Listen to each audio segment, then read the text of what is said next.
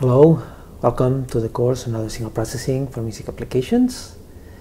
This week we are focusing on uh, transformations, on uh, describing one application of the spectral modeling uh, techniques that we are covering in this course.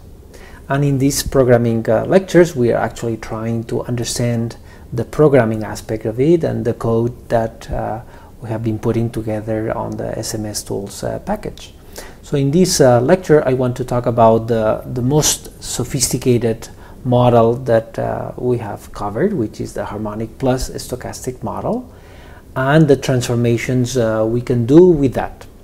So we have been uh, describing uh, this type of block diagram in which after all these analysis uh, that uh, we do uh, of understanding uh, the harmonics, extracting the, their information, and then subtracting them from the original signal, we obtain this stochastic approximation. And now we are focusing on these two red uh, um, blocks in which uh, we are can apply transformations to both stochastic representation and harmonic representation. And of course, then we can synthesize back. One of these transformations is uh, a little bit special, which is the morphing. The morphing uh, requires two analyses of two sounds. So we have uh, one sound that uh, performs all these analyses and another one that does the same. And we are basically interpolating these two set of functions, uh, the arrays of frequency and amplitudes and the envelopes of the stochastic approximation and then we do the synthesis in the in the same way.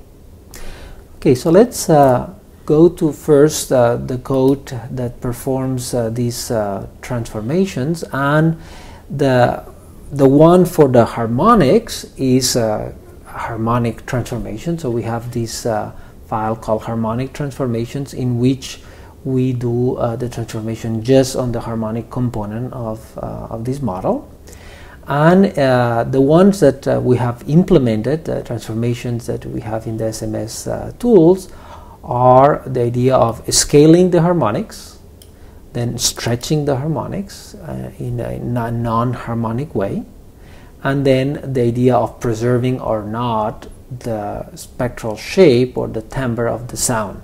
Okay, so within this uh, function, uh, harmonic frequency scaling, we can do all these uh, at the same time if we pass uh, these uh, three control parameters.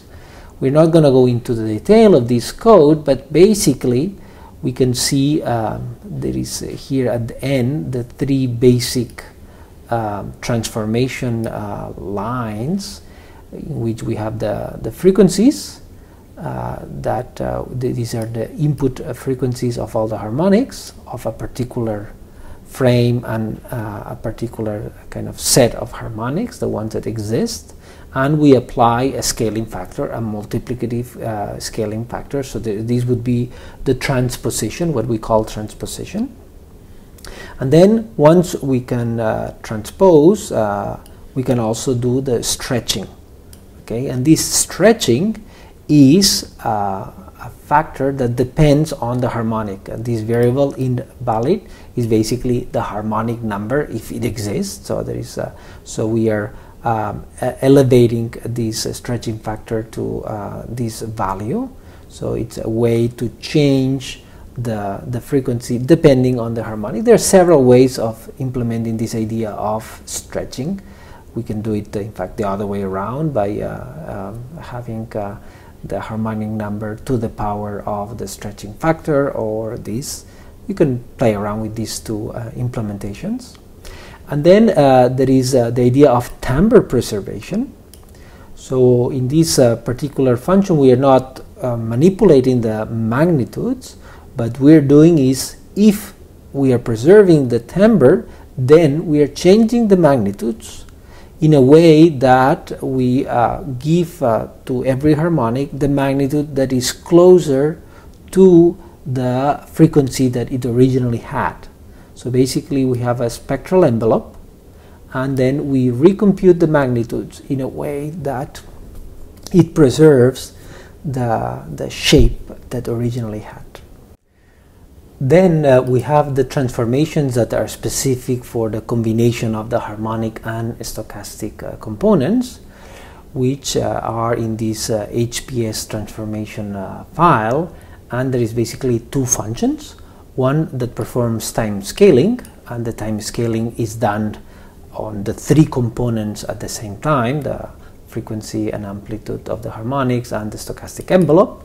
So it's performed uh, in this core loop and basically it interpolates, well in, in, in, fact it just adds or deletes frames depending on this uh, time scaling uh, parameter. And then there is the more complex uh, function which is the morphing that accepts the arrays uh, from the two uh, sounds, so the analysis of the two sounds. And according to these interpolation functions, it chooses uh, a part of each.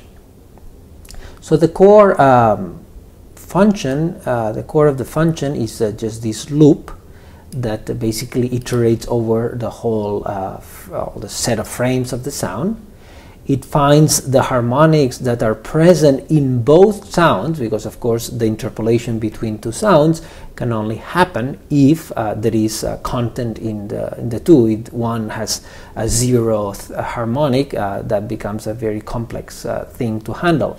So in this code it looks for the intersection, so the harmonics that are present and then it just performs the interpolation of the frequencies the magnitudes and the stochastic envelope when there is some information existing in, uh, in uh, both uh, sounds, at the frame of both sounds.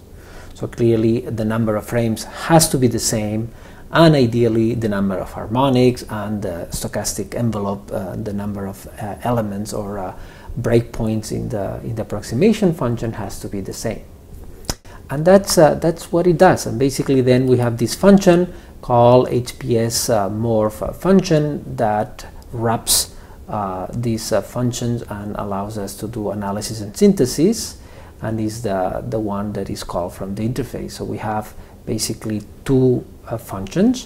One is the analysis that uh, returns the results of the analysis and then another is the transformation and synthesis that performs the transformation and uh, synthesis of the sound okay and if we run this uh, we can just execute that we can just type run and hps morph um, okay